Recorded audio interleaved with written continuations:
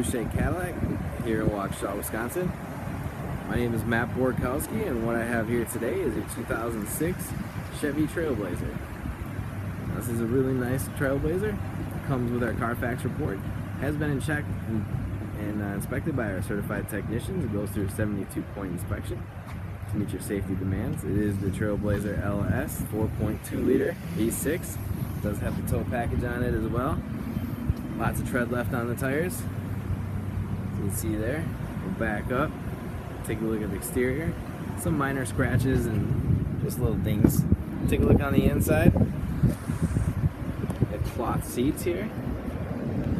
Lots of room. Back there as well. Plenty of space.